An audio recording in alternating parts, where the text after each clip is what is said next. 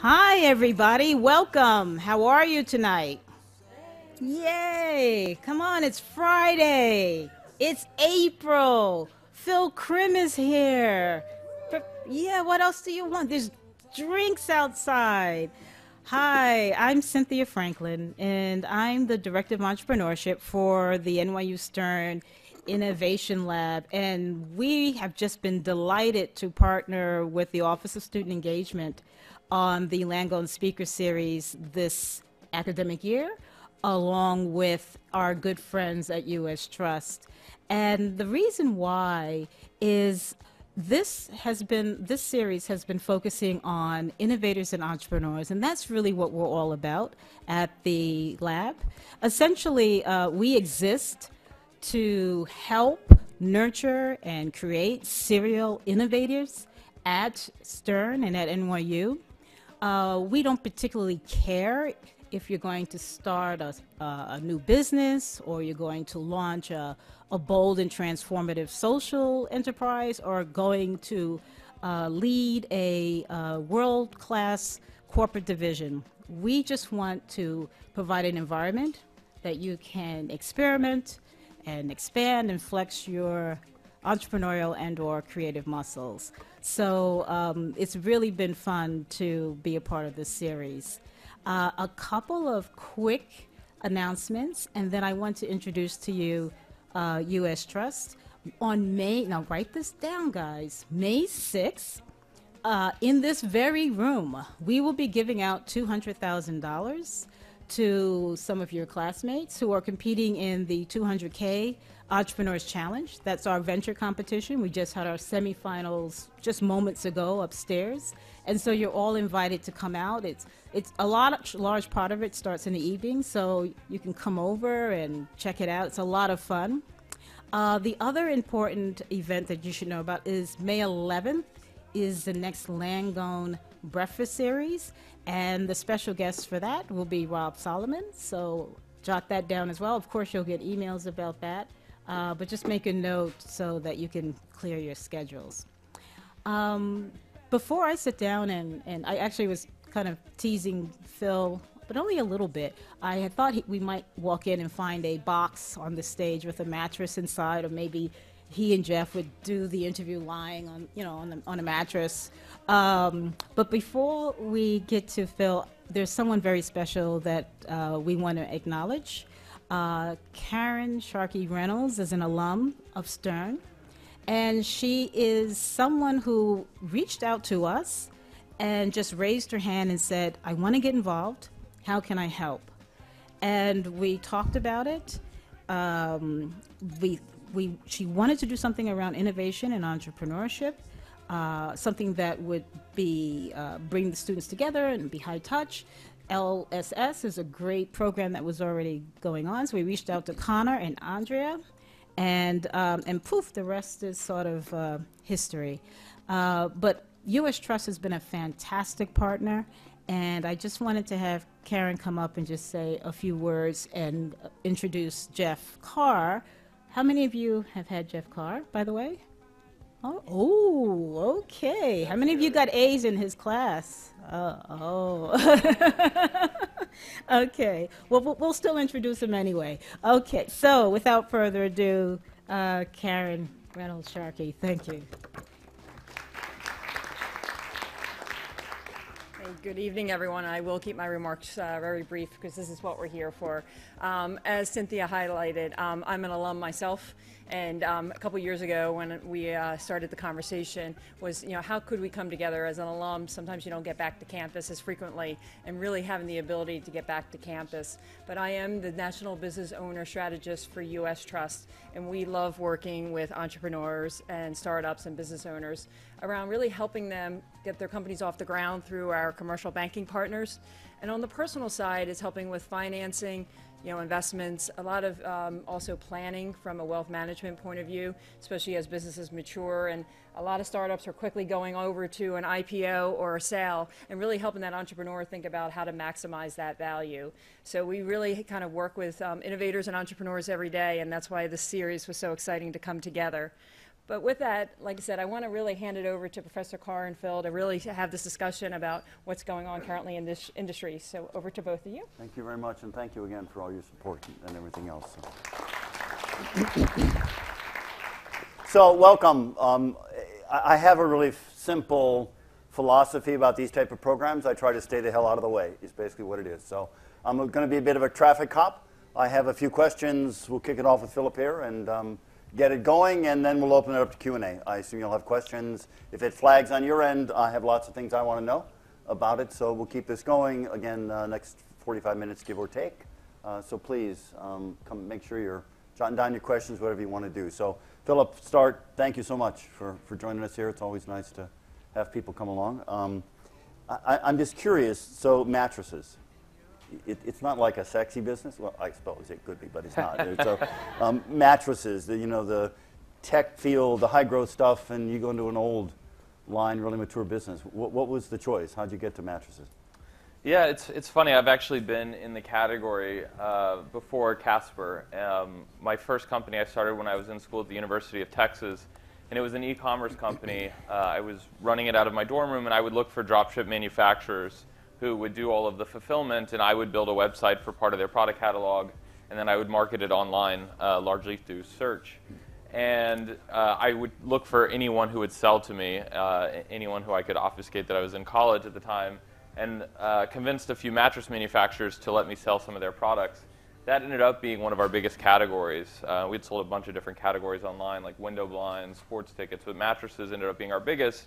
And even back then, this was 2003, 2004, uh, Tempur-Pedic at the time was a public company, and, and they still didn't have an e-commerce website. They weren't doing anything on kind of digital marketing, and so I think that's where I started learning the industry and saw that they were always very behind the times. Uh, and, and so I ran that business for about 10 years. Never thought I'd be back in the mattress business. Uh, but then met four of the five co-founders, or th- three of my other co-founders, in a co-working space here in New York City, working on different businesses. I was working on a company that sold uh, mobile leads to local businesses. So if someone was in Houston looking for a tow truck on their phone, I would connect that person to a, a tow truck driver in charge on a per call basis. Um, and then three of my co-founders were working on a company that helped uh, bloggers basically sell goods directly to their audience. So uh, kind of a, a stepped up affiliate program. And uh, both those businesses were going okay but had their troubles, and, and we started looking around the office and seeing people were not prioritizing sleep. They would literally fall asleep in beanbag chairs. And that led to a conversation about how buying a mattress was just the worst consumer experience in existence. And we saw what Warby Parker was doing for eyeglasses. We saw what Harry's and Dollar Shave were doing for razors. And when we started talking about the, the mattress industry, the dynamics kind of lined up. You had a multi-tier distribution uh, system that had big margins throughout the industry. Uh, you had an, a category where people either didn't know or didn't like the brands that were in the space. And you had product innovation that was decades old. I think the last kind of quote unquote innovative one was Tempur-Pedic, and that, that was technology that was 20 plus years old. And so we thought it was really interesting if we could build a compelling brand, and even more interesting if we could build kind of a best in class product. Um, and so it really came together with my fifth co-founder, Jeff, joining us. And Jeff had just wrapped up a 10-year stint at IDEO, and he had actually worked on uh, a mattress client. So between he and I, we had some ideas on how we could build a unique product, and, and we did that. So we have a patent pending on the construction of our product. Uh, and then we focused on just overhauling the entire experience, which hadn't changed in decades. So it, uh, it ended up lining up, and we, we joke about it now. And when people ask, like, you know, why Why mattresses? huh? right? Why mattresses, or, or wh- why are you guys growing as quickly as you are? And, and really, I said the first key is just pick an industry where the bar is so low to do anything cool that no matter what you do, it, it's going to work. Uh, and mattresses were that kind of case. Everyone hated the traditional options. Uh, it was kind of worse than buying a used car from a used car salesman, and, and so I, I think there, you know, in hindsight, a real void in the industry, and, and that's why we were able to kind of hit a chord that, that no one had hit before. So, so what was your, um, uh, take me through the, the product development process. So, how did that work? You had a, a a recognition of a problem with existing mattresses, or this was something that stimulated what you wanted to do, and then how did you go about actually designing it and then getting it manufactured? Yeah, it's uh, it, it was a long process. Uh, we were able to go to market relatively quickly. So we started working on the idea uh, summer of 2013, and then we launched the business almost two years ago, April 22nd of 2014. So relatively short period there, but the reason we were able to go to market quickly is because we worked with domestic manufacturers. And because I had worked with the materials in the category before, I knew some of the, the pros and cons of different materials. Specifically, memory foam was, was very gaining popularity, already very popular, thanks largely to Tempur-Pedic. But people complained about getting stuck in memory foam, it feeling hot, and it uh, losing kind of the springiness that you want in a mattress. And latex was another foam material that in Europe is widely considered one of the best materials, but no one had really popularized it here. And what we started testing was if we put latex foam on top of memory foam, can you get the best of both worlds? Get a springiness, resilience that takes pressure off your, your back and gives you proper spinal alignment, but still offers a really comfortable, unique uh, sleep surface. And so from there, Jeff kind of took that idea and started playing around with a very consumer-centric, user-centric design philosophy, which is the core of how IDEO designs. And, and this was all something I was learning from him as, as just a really experienced industrial designer and mechanical engineer. So we worked on dozens and dozens of iterations of just combining materials in different in ways. In your apartment? So literally, we were in a co-working space and we kept getting yelled at for having mattresses stacked up there. Uh, and then at one point when we first had our office, we would just line up the office wall to wall on different versions of mattresses and have people come over and lay on them and give us feedback. At another point, we developed a mattress where one half was one construction and another half was another construction, which the manufacturers hated the idea, but they were able to figure out how to do it. And that was kind of our version of A/B testing two different products, just you know from one night to another. And so all of this just led to what was ultimately the Casper construction, which we're really proud of. Convenience sample survey. Any of you have a Casper mattress? Nice, thank you. so, okay, so the rest is opportunity for you, Absolutely. right? Okay, um, and a little bit of feedback here. You're here because you like it. You're here because you hate it and want to tell him so, or what, what's the feedback here? Yeah, it's awesome. Really comfortable. I like it a lot. Who love it? She was Nice. surprised. So that's the low bar thing, or what? Under promise, over deliver. Exactly. Who, anybody else? All right. So it still looks like 90% option, opportunity. Trial.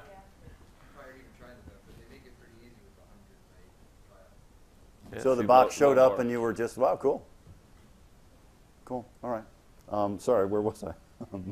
so um, most startups seem to launch with, uh, and I think mistakenly so in many in many, many cases, um, really low prices compared to everything. And I think the whole direct model tends to encourage people to keep all the, you know, cut the margins down. Um, your price doesn't strike me as inexpensive, A- and I'm just curious how you came up with the price when you were deciding what to actually launch it for and, and price it for.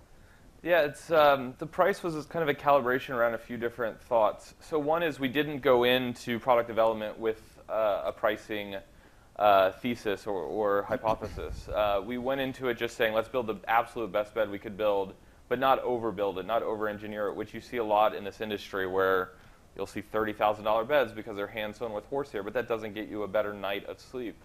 Uh, and this category is, is an odd one where oftentimes when you go into a store, the only thing you might know is about how much you want to spend. And even then, you're, you're often coached to spend a lot more than that. Uh, and so with that, we, we said, let's just build the best product and then let's see how much that costs. And then uh, on the pricing spectrum, we didn't mind being a little bit more expensive than kind of the median price for the category, but it still feels like a, a great value when you compare any of the kind of higher end brands like a Tempur-Pedic or some of the higher Serta comfort beds, things like that. So uh, we say it, it's comparable to the two, three, four, five thousand dollar beds that you see in a store, but because we sell direct, a queen is only eight hundred and fifty dollars. So what was what's been your biggest surprise since you launched? You're in, in two years. You told me you're almost your two-year anniversary. Yes, Right, two year so- anniversary in a couple of weeks. What's been your Uh, biggest surprise about the business? The biggest surprise definitely has just been how quickly it's grown. Um, I mean, out of the gate, it was reported we did like a million dollars in our first 28 days, uh, and the growth has just continued since then, and it, it, it's been remarkable. So we had to hire much more quickly than we, we expected. Um, you know, now it's been a focus on building out like a senior leadership team that could really help us. Ramping up the supply chain was something that we were always behind. Uh, so the growth just presented a, a lot of challenges that we did not expect at all. And you've raised money We have. along the way. How many rounds? We've done three rounds of financing. So our last round was our, our B round in June of last year. Uh, so that was a $55 million round. So we raised just shy of 70 million total. And you started in the typical, we did it ourselves, friends and family, angel round, and then to the VC. Uh, so we ended up raising an institutional seed round before launch. So January of 2014, we raised a round from Lerer Ventures. So that was a 1.85 million dollar round. Uh, a few institutionals and a few angels in that round. Uh, and then shortly after launch, summer of 2014, we did an A round, which was led by NEA. Again, uh, a few institutions came into that, a few angels, a few celebrities. That was 13.1 million. So you have three partners or four with Jeff? Four other partners. Four. So we're Um, five co-founders. Five? All right, so how do you manage it? How do you do decision making? What's the kind of the organizational structure with five partners? Yeah, it's, it's funny. That, that's kind of the look we get whenever we tell someone we have five co-founders. Well, I'm Uh, horrified because I'm, I'm not a not a partner kind of person. So yeah. you know, Uh, um, uh, no, we, we've been really lucky. I, I, you know, that's one of the things I'm most grateful for, just the, the partners that I have in the business, because uh, it's been a great dynamic. Everyone brings a different discipline and different perspective. And it means we ultimately end up debating a lot of things, but the outcome of that is that almost nothing is not thought, thoughtful, uh, and, and people just care about every aspect of it, but bring different perspectives and different disciplines to the table. So I think that's one of the reasons we were able to move as quickly as we did move, um, because we had five co-founders we could divide and conquer, but do so within a, a very clear, organized framework around decision making and uh, just how the company would move forward when it came to that that, that kind of uh, discipline. so your decision making area is what?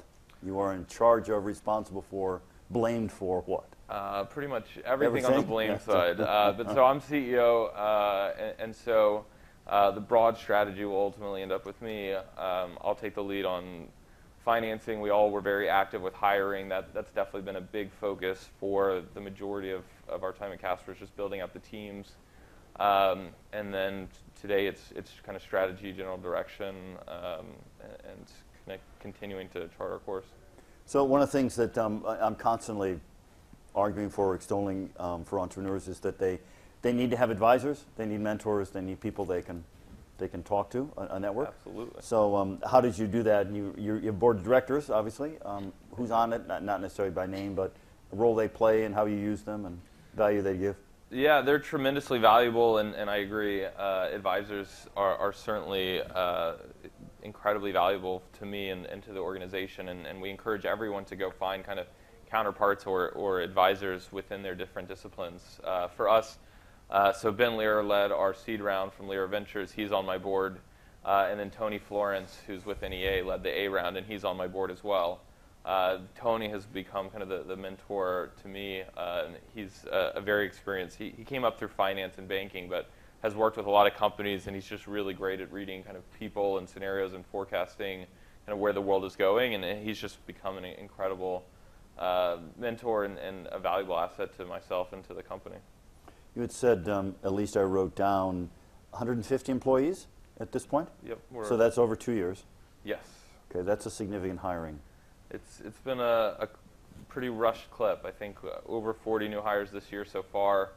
Um, taking a breath right now just to make sure we get everyone onboarded, and, and we're we're taking a big moment to really inflect on kind of the culture of Casper and kind of memorialize some of the things that we've taken for granted when you have everyone in the same room. Uh, now that we have multiple offices and we're going international later this year, so we re- really wanted to make sure that we kept kind of the, the spirit and the culture that we've had since the early days and, and make sure we didn't break anything there. So uh, the, the hiring has certainly been kind of a challenge. It's something where we spent more time on that than I expected, but it's been great because we just have incredible people on board. So what's the international plan? International is to go into, uh, we're focused on Germany and the UK to start. Why? Uh, they're both good markets for mattresses. They're both the, the two biggest markets in the UK.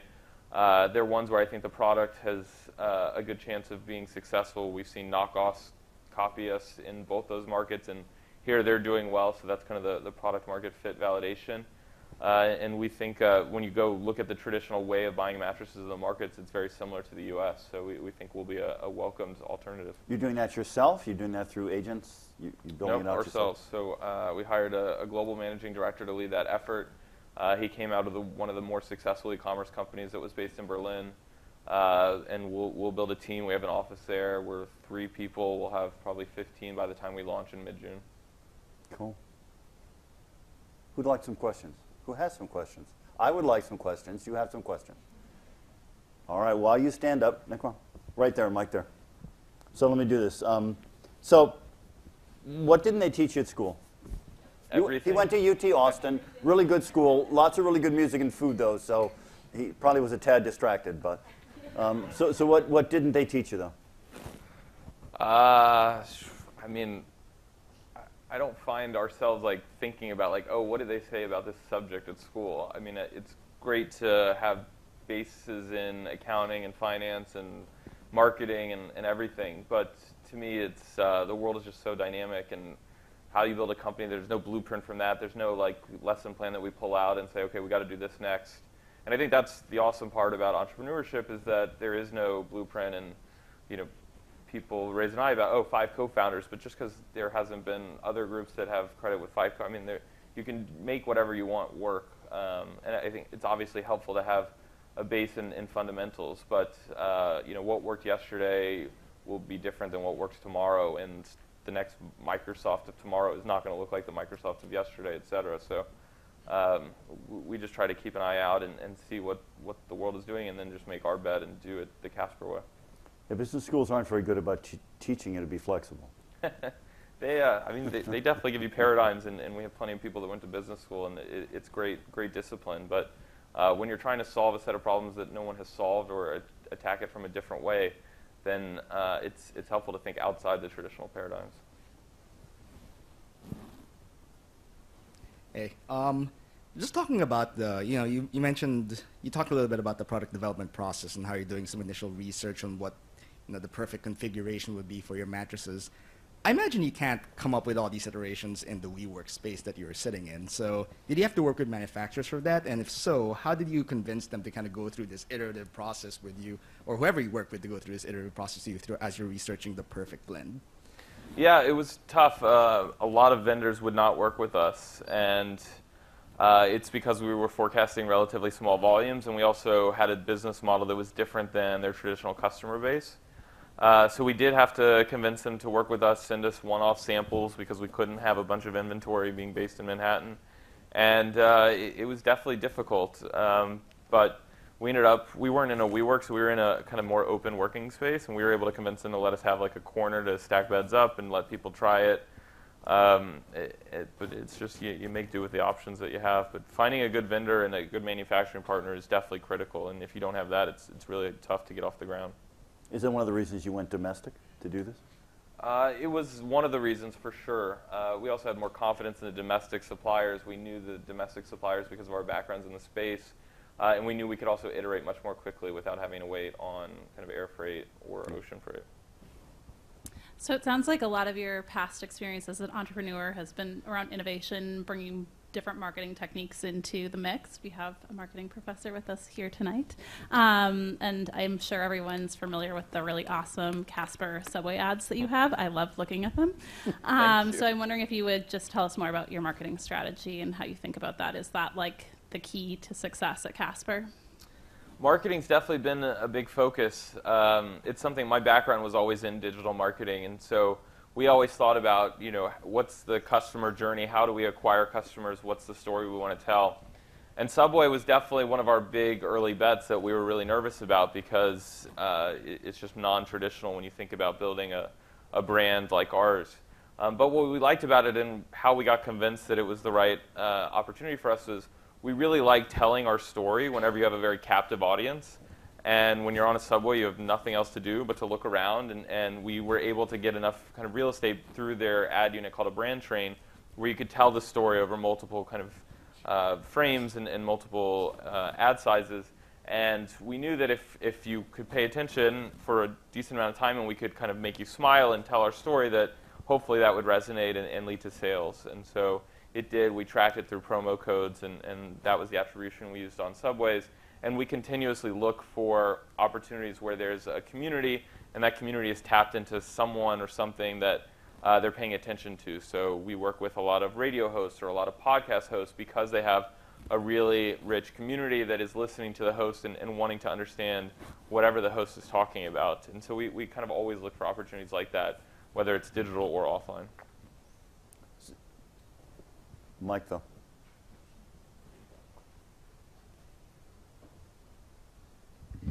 So, how have you gotten over uh, the need for people to try the mattress before they're comfortable buying it, and or you know dealing with returns if they haven't tried it?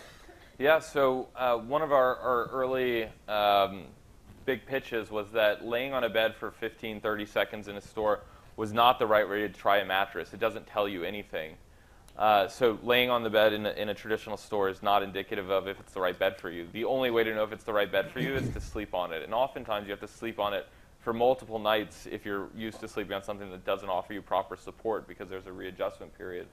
And so since we launched, at, actually at launch we had a 40-night trial, and we quickly extended it to a 100-night trial so that you could try it in your home, 100 nights risk-free. And if you don't love it, just call us up and we'll come pick it up. So you don't, you don't repackage it, you don't have to take it anywhere. We'll, we'll come pick it up, and then if you're in a market where we could donate it, we'll donate it from there. Um, but that was, that was core to, I think, one of the reasons why we got people comfortable to not go into a store and core of why we don't think stores uh, are necessary in their kind of current format. So you don't have to fold it back in and put it in the box to That return? would, that would be tough. Yeah, that would be a bit of a bitch. Yeah. Yeah, so how many, how, how- many come back?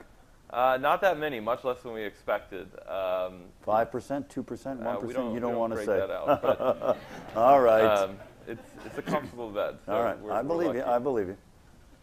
Hi. Um, so I'm curious how how was the the the process of finding your co-founders? Um, like, what did you see in each one of them uh, to bring them to the team, and how was like the whole experience of you know like inviting them to your company, uh, distributing equity, and and you know like tell us a little bit about that. Yeah, it was, uh, it was definitely an interesting dynamic. So three of my co-founders uh, went to Brown University together. So they had known each other, you know, were good friends, and they were working on a company together. And uh, I was kind of the outsider that, that um, was joining them, and, and we all got along. I really respected them and what they were doing. They're younger guys, but uh, were are really sharp guys that, that I just thought would be fun to work with. And I, I'd always said to myself, you know, I just want to work with really smart guys or, or girls, and, and it would be great to, to do that because I was always a solo founder before that. Um, and so I did want to work with a, a founding team around that. And then the fifth was Jeff, who is a little bit older than me, and, and he had, again, just wrapped up a 10 year stint at IDEO.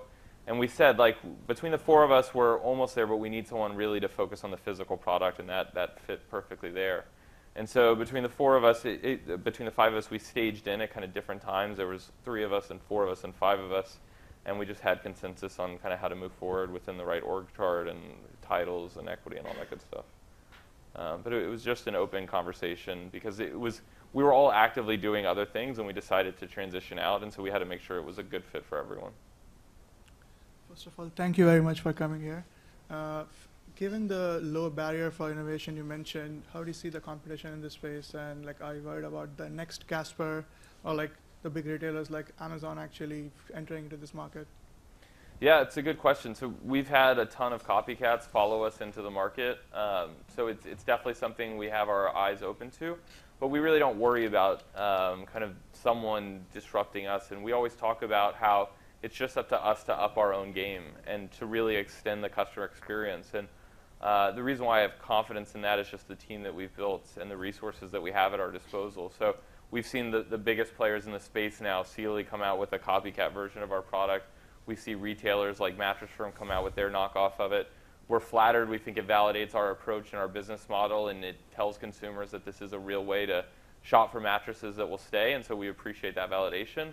Um, but as long as we continue to deliver on the customer experience we promise and find ways to improve the customer experience, then uh, I think we'll have a successful business. And if other people have successful businesses doing the same thing, then, then great, the consumer is better served. How big is the mattress market? Uh, it's between 14 and 15 billion dollars uh, A year? retail in the U.S. a year. Wow, So it's a big market. cool. Uh, I read in one of your interviews that you identify your company as a tech company, and you are also on the Amazon, which is e-commerce platform. So how do you use technical strength compared to your competitors, and how do you see it as a differentiating factor? For sure, good question. Um, so we, we've always considered tech core to our DNA, core to our infrastructure, and that's one of the core reasons we were able to scale the business as quickly as we did. So we look at tech both from a digital product standpoint, so we built our own uh, kind of front end on an e-commerce platform that was on Ruby and have been very focused on a very uh, dynamic, uh, nimble um, tech platform and tech stack. Uh, we also are very tech focused on product design. So we actually now have a product design studio that Jeff leads in San Francisco with mechanical engineers and product designers and industrial designers who are focused on the tech side of products that we're designing and developing. So after the sheets, November of last year, we actually launched sheets, or excuse me, after the mattresses, uh, we launched sheets and pillows November of last year that were all completely designed and engineered in house. And the interesting thing is that uh, th- these categories, oftentimes, uh, the product designs from other companies are not purely about improving sleep quality. They're how do we sell more at retail? How do we make the feel when you're feeling uh, fabrics next to a wall of fabrics? Whereas for us, our only mandate to the product design and engineering team is how do we uh, use technical specs to just improve people's sleep? And so a lot of times that's how do you regulate temperature, how do you regulate airflow, things like that, all of which you need kind of a, a tech focus around to, uh, to solve for. And uh, I think that's why the products perform as well as they do uh, across the spectrum. And you'll continue to see kind of the, the product development philosophy rooted around efficacy of products when it comes to improving sleep. Um, and so the, the tech permeates everything we do on both the, the marketing and design and, and website, but also in the offline physical product world. What are the products in the pipeline? So beds, sheets, that makes sense. Pillows, that makes sense. Yeah. So beds. Where, where else is there to go here? Well, no. So anything that's in the bedroom is probably something that we're thinking about, talking about. Uh, some are, are just cool ideas on you know how does tech enter the bedroom? How do you connect kind of the bed to the rest of the to the home or you know temperature is probably the biggest variable that influences sleep what can you do with temperature and, and uh, how that impacts sleep so uh, we're working on a number of products and we haven't announced what's coming out next some are some are just utility products that um, the number one question that we get inbound is what do i put my mattress on so we want to help you with that because right now we'll point you to amazon um, so it, it's just rounding out that customer experience and that goes back to uh, just our competitive advantage. And as long as we keep elevating the customer experience and keep coming to market with what our customers are asking for, then, then I think we have a, a very durable business. Cool. Oh, thank you, because my neck was like getting twisted this way. So, so someone on the left. Again, thank you. Um, so if you're not worried about your competitors disrupting you, what are the things that keep you up at night, if there are any? I sleep on a Casper, so I sleep pretty well. Uh, but for me, it's uh, it's really just uh, building the team and, and building. The, the thing that I've been focused on most recently is kind of developing a senior leadership team. And randomly, it, it just happened where uh, a number of those hires all came on board at, at, pretty much the same time. And so, what feels like uh, almost overnight change, we went from a company that was kind of led by five co founders to now an 11 person senior leadership team. And going through that transition, making sure you're hiring with the right kind of culture and uh, optimizing those those hires around the right things uh, was really tough and challenging and took longer than expected. Like our CMO search went on nine months, but uh, and then once we get those people in place, just how do we all work together? How do we integrate everyone? And how do we transition people that have been with the company for a long time to now at times have new reports and, and new leadership? Uh, to me, that, that's been my biggest focus and, and, and definitely what, what I worry about right now but not at night. You're sleeping like a baby. Absolutely. So, not so enough hours, yeah, but exactly. when I do. So, yeah. Before good. you fall asleep and when you wake up. Yeah, absolutely. Uh, well, first off, thank you for coming. Um, I have a question. I hear you talking about Tempur Sealy a lot, Tempur-Pedic, and I'm thinking about Sleep Number, and I know they have a new bed coming out. It's like this connected bed, mm-hmm. and you were talking about how technology and temperature control it, it influences all of your product development, but are you concerned about a bed that actually tracks a person's health? Is that something on your radar? Is that something that keeps you up at night? Since that seems like such a direction the industry is going in. Yeah, it's interesting. I, Sleep Number doesn't get, I think, enough credit, um, at least not with kind of the broad consumer base, and that's because they sell a really expensive bed, and they're generally targeting kind of baby boomers with bad backs. But they have been very progressive on how they look at technology to integrate into their products, and I, I think they've done some things that are, are pretty remarkable. Uh, for example, they have a remote that uh, they have a bed that can raise and lower the head of the bed, and you can have a remote with a microphone on it, and it can hear when you're snoring and lift you up like five or ten degrees to reduce snoring. Things like that are are very useful, and, and we admire them on the product design there. Uh, so we, we absolutely look at how does technology, how should it enter the bedroom. We think the big uh, break right now is that you see a lot of people on kind of quantified sleep. How do we, how am I sleeping? But uh, our, our indictment of that was always like you generally know how you slept, right? You wake up, you either feel good or not, but then what do you do with that? What do you do with the data? What do you do with the output? And that's why we think the sleep trackers are generally short lived uh, from a, a user standpoint. And so for us, our goal would be to take whatever measurement data we want to take and then actually influence those people's sleep. And so that, that's the real kind of brand vision for Casper is how do we establish ourselves as the go-to brand that helps people sleep better across the world. And, and is that, I know you guys recently did the, the slow wave movement. Is that kind of the embodiment of that? Or?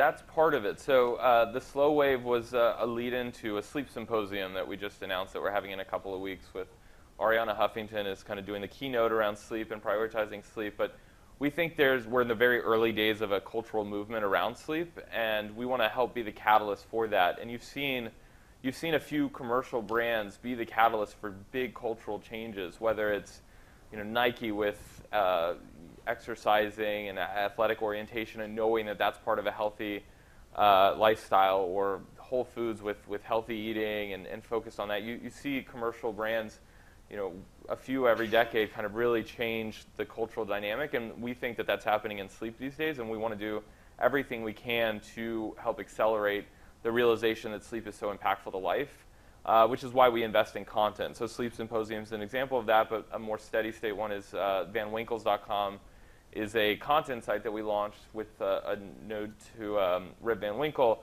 and it just explores everything having to do with sleep and wakefulness and, and the, the overall category. And what we love about it is that everyone has uh, a need for sleep and a relationship with sleep. So it's a, a universal relationship, and yet everyone's relationship is so personalized. And so there's so many different topics to explore and, and interesting avenues to kind of uncover when it comes to sleep. And the, the science behind it is all uh, very early days and, and uh, having some new realizations around how sleep impacts your life almost every week. So, you know, it's always dangerous to put someone like me that is a teacher, that I have genetic defects, I've probably you know, demonstrated some of them already, but in front of an audience because I have this overwhelming urge to teach. I'm sorry, I can't let it go. Um, so we talk about, and I mention regularly about you need to own a conversation, own a mountain, he owns sleep. So it's a beautiful distillation of what it is that they want to do, and then it informs product development, it informs the communication message, it informs everything. Very nicely done. Thank you. Very nicely done. Next. Hi, Sorry, um, I'm off. She's on. Right.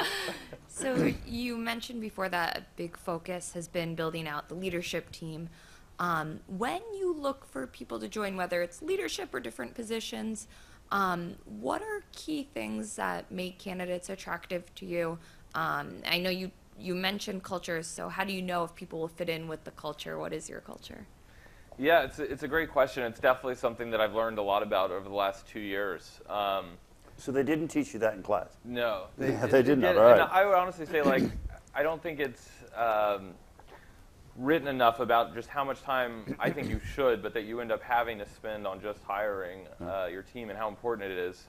Uh, so for us, we say that the first thing to solve for is a cultural fit, and that there's no kind of real shortcuts there. It's just getting to know someone and, and generally seeing if their view on the world is uh, similar to, to our view, Casper's view of the world. And so for that, we, we just have general characteristics. And we're starting to memorialize that with some of the brand work that we're doing. But uh, you know, in the early days, you just kind of feel, feel it, and it's just a, a gut thing, I think. And then from there, it's, it's kind of figuring out what the right thing to optimize every search for. Um, and especially at the high level, you'll find a bunch of different kinds of people for every role. Uh, so I mentioned like we were running a CMO search. There are very different CMOs out there. There are guys that talk all about brand. There are guys that talk all about data analytics, attribution, and everything in between. And uh, sometimes it's helpful just to meet a lot of candidates so you see what different flavors of, of people look like for a given role. And we're doing that right now for a VP of engineering search, and they're just very different VP of engineers, some who want to code, some who just want to manage, et cetera. And so every every kind of big position will have different people like that. And so I think it is helpful to meet a lot of people.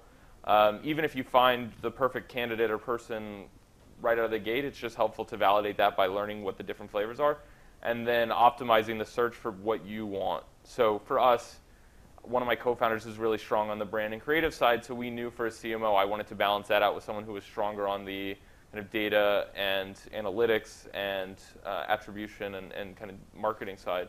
Uh, so that's what we started to, to skew the search towards. And every role has that balance. With VP of uh, operations, it was another one where uh, ev- a, lot of people had the logistics and uh, distribution side, which was something that we was a nice to have, but for us the must have was someone who had manufacturing experience. So someone who either ran or set up a company-owned manufacturing base, or someone who ran a very large contract manufacturing base. And so that's what we were looking for with that candidate. But it's it's really it's all over the place. But first is for culture for us, and then second would be experience. Mike. Can you describe your digital marketing campaign and how you sequenced marketing with product development? Sure. Uh, so for us, we kind of legged into digital marketing based on where we uh, basically moving our way up the buy funnel. And so we started at very uh, strong intent purchases. So we started with retargeting because we knew they'd come to our site. We were able to cookie them. So we knew they had very high intent, and, and we wanted to try to convert them through uh, retargeting. Uh, we then kind of moved up to people that were searching for our brand or uh, additional context around our brand, like reviews, things like that. And then we just kind of kept moving up the, uh, the funnel. Um, then we started working on how do we drive awareness through digital marketing. So that was kind of paid social ads, um, uh, display ads outside of just retargeting. And now we're, we're kind of end to end with everything on digital. But the name of the game for how we grow that is, is really on attribution and just how we're seeing people engage. So we'll look at mobile as more of a way to introduce people top of funnel, and then we'll, we'll try to use different techniques to drive them through the funnel and optimize accordingly. Thank you for coming. Um. I have a question. So, uh, you pretty much built a perfect mattress, right, for everybody, right? You have different sizes, right, but it's still the same mattress. Correct. Uh, are you planning to create new mattresses? Uh, I mean, like maybe at a different price point to accommodate people who can buy it at that price, let's say, or maybe even more expensive one that would be more targeted towards premium audience. Yeah, it's um, so right now our belief is that one mattress is the way to go, and uh, we realize we don't hit every part of the, the population, but we, we think we hit a pretty good chunk of the, the kind of bell curve distribution for uh, the mattress buying population. Um, but one thing that's unique about us is that we are big believers in kind of the iterative design philosophy for physical products. And so you'll see us kind of tweak the product. We've been tweaking the product, and some are, are imperceptible. Some could be how you know chemical formulations with just different temperature regulations, things like that. Some are more perceptible about improving the quality of the cover, things like that. Um, and so we, we believe in continuously updating the product with new innovation, and you'll always buy the latest and greatest from us. Um, but we, we're not going to kind of a multi-product beyond just the six sizes that we carry uh, lineup. Okay. Thanks. Who else? You mentioned you had an iterative process and that you're continually improving. How do you decide what areas of each product to improve? Is it based on uh, customer feedback? Do you kind of progress from first principles? Like, what kind of methodology are you uh, deciding on what aspects of your product to make better? Yeah, we, we try to look at a, a number of different data points throughout uh, kind of the product ecosystem, whether it's price points, competitors, but I would say customer-centric design is, is first and foremost. And one of the things that we did to help us with that is we launched a program called Casper Labs. And Casper Labs is a way for customers to opt in to help us with that research. So it's customers that will give us more in-depth feedback about the product. If we have ideas on product uh, uh, iterations, we can go to some people within the Casper Labs program, present them with multiple products, get their feedback, and it's a, it's a really engaged group of our, our biggest fans and our biggest advocates who will help us with um, with product knowledge, product testing, and user feedback. And that, that came out of the original days when we were trying to test these different mattresses. We'd had to beg friends to come over and buy pizza and beer just to get people to come over. And then we realized now we have all these customers and they're telling us how much they would love to help us. And so we, we formalized that with the Casper Labs program. But uh, kind of user centric design and design iteration is, is kind of core to Jeff's design philosophy. So, how many um, interactions a week, a day do you have with, with customers at this point? Oh, hundreds. Hundreds of phone calls a day, hundreds of emails, live chats, text. You can now text us. Um, we're, we're big believers in wh- whenever you want to talk to us, we're there. So we don't focus on kind of optimizing for efficiency. Um, you know, we applaud when you talk to a customer for a long time, unlike a lot of call centers who will try to minimize the, the interaction time. You run your own call center? It, it's uh, we don't call it a call center, but I yeah, get it. customer experience team. Yeah.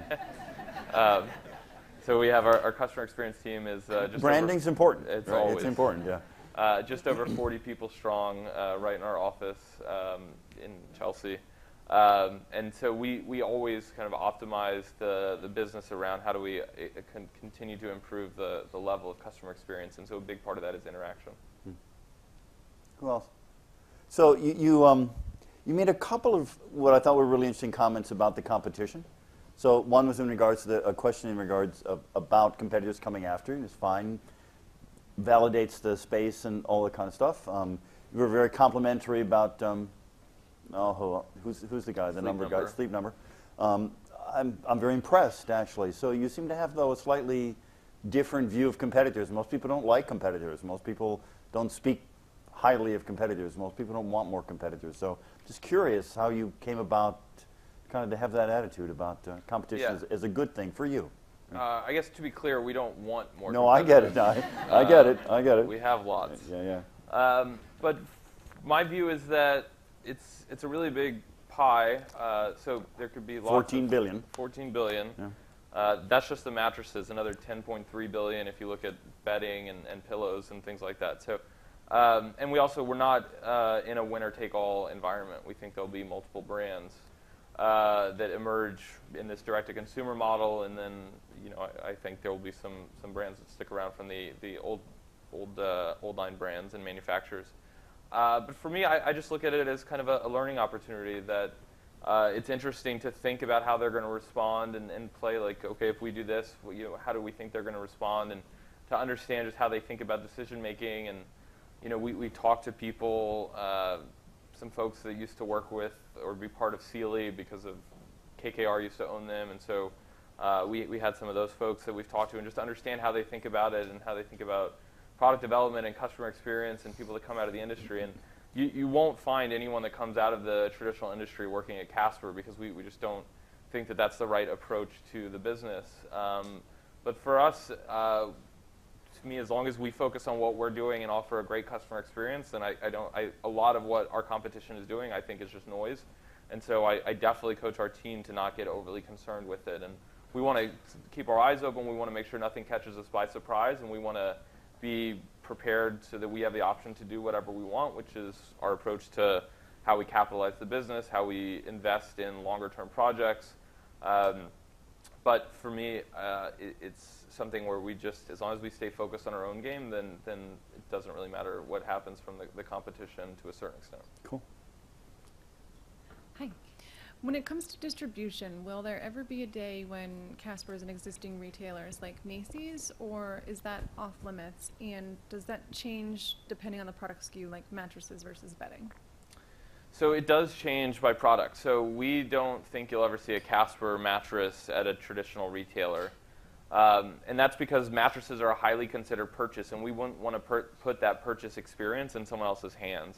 Um, but we think there's a world where we could come out with products that you don't need to talk to someone, you don't need a totally differentiated experience, but we could design an awesome product, and there we would find retail partners that we'd potentially want to work with. Uh, so right now we don't currently work with any of them, but we do think there's definitely a world where certain products lend themselves to different channels of distribution. And once we look at those channels of distribution, we'll look for best in class when it comes to brand and customer experience that are able to offer the, the same thing that we would be able to offer without um, discounting the, the experience or the, the purchase process. Uh, my question is about starting. Uh, it seems like you're a serial entrepreneur, so maybe you didn't have this problem, but maybe to myself and some other aspiring entrepreneurs in the audience, you know, how do you, how did you, wh- what's the best advice you would have to just kind of start, other than maybe just doing it? And then also, um, after you start and maybe you're doing some research, did you ever find that um, maybe this idea isn't the best, and uh, what kind of did you do to move past that? Yeah, it's a, it's a great question. I think that's one where uh, having a founding team can be very helpful as opposed to a, a solo founder. If you have a founding team and, you know, everyone gets down over certain things, but you always rally each other and, and make sure that you're kind of focused once, once you commit to the idea. But I think mentally it is about committing to the idea. And, and once you kind of feel like you have the right pieces in place, I feel like once, once you think it's there, then you can't really get it out of, uh, out of your head. And I think my wife, who's in the audience, will say like one night I woke up and I realized like we did have something special in the product, and that I really wanted to work with these four guys. And once that happened, I couldn't think about anything else, and so we just we went forward. But having the five of us, I mean, there were definitely times where we got frustrated, and especially on the initial fundraising. I mean, we were told no so many times for many, many months. Uh, and it, it, took a lot of meetings to finally met Ben, who got what we were going for and, and decided to lean in and, and, lead the round. And he was the first person to commit, and, and we were able to build off of that. Um, so you need you need the momentum, but it, it takes a while. Uh, so it's to me, it's I, I, always tell people once you're excited about something and you have conviction that it could work, just go for it. And then, you, but you need the conviction or the perseverance because there'll definitely be tough times. But that's when your advisors and, and the people around the table will, will make a big difference. We have time for a couple more questions. This is the third, right? Sorry, I don't That's mean to right. monopolize it, but um, you. It sounds like you guys did a lot of fundraising before you even launched. What was the decision to do that versus more of a bootstrapping route? Yeah, so I had bootstrapped um, my first two businesses, and so I knew how painful that is. um, and we actually we had conviction on this idea, and so even once we decided to go fundraise, and we were told no a bunch, we we sat down and said, look, look it doesn't look like we're going to raise money. Do we want to go for this anyway? And it would be a different way to launch and a different way to build it but we had conviction around the idea, so we were going to go for it either way. Um, but fundraising is a process, and it just takes time, and, and, we were committed to kind of slugging it out, and we would take any introduction we could get and any meeting we could get, uh, and then it, it, did. Once you have a lead, uh, especially a lead like Ben, then things really you can build momentum on that. Um, but it takes time with with a seed investment. It's really just someone believing in your idea, and at that point, we didn't even have a brand we could show them. We didn't have a finished product it was just this idea of a category that we wanted to change, and we had thoughts on how we were going to change it. But the plan we, we showed them was much different the second we launched than anything. And so uh, you just want to find good people that, that will back you, and, and finding good people that was really important. And I, I think it's there's a lot of good people out there in New York, San Francisco, all over the country that can back you, but you, you do want to find good people. And, and I've seen entrepreneurs take money and, and advice from people that didn't have their best interests at heart, and it doesn't always end well. So uh, we're just really lucky with the people we have around the table, and, and uh, that that we decided to go for institutional money, and we're able to get it. It's uh, so we, we always pictured Casper being a big business, and so we thought to build the team and to, to launch it right and to have the inventory that we needed to, to build the business we wanted, that we wanted to have uh, some capital to do that. Uh, so we thought it was better for the business and the goal that we had to have institutional backing and to have that capital in the bank uh, to deploy. Um, and because we're working with physical goods and physical inventory, we knew that that wasn't going to be easy uh, if we didn't have institutional backing. You've spoken to Harry's and Bonobos as inspiration. Do you ever see Casper having its own physical locations? And if so, um, you know, where does that fall in sort of the, the, the timeline of priorities? Yeah, uh, we, we love offline. Uh, we, since the day we launched the business, we had people knocking on our door to come try the mattress. And so our original office, which was on Bond Street, 45 Bond Street, is now a dedicated showroom that anyone in New York can go by to try the bed, to just come hang out, to talk to people that work at Casper and understand more about us. Uh, and, and so that's been really successful. And we've done a series of tests in the offline world. So we have a, a, mobile nap tour that goes around the country. It was just recently at South by, uh, but it went all the way up and down the East Coast and all the way up and down the West Coast, and that's been really great to see people try that out.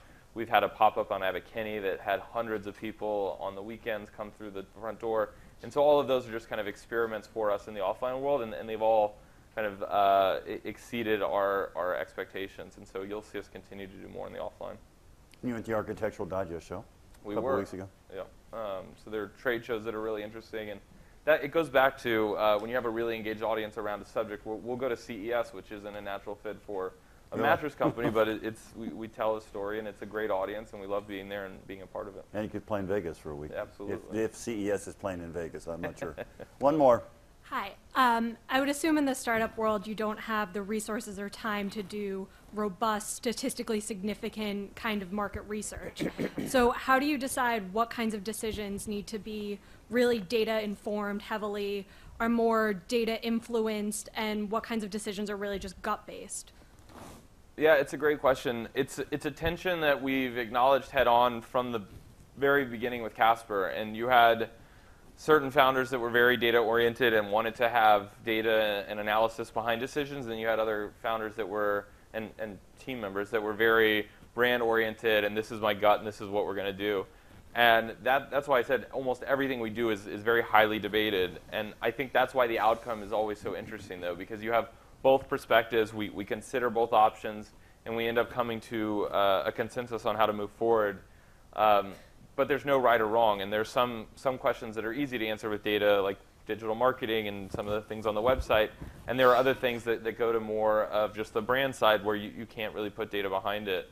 Uh, and so we, we always try to know where on the pendulum this decision is when we go into it. So we have an agreement on the framework.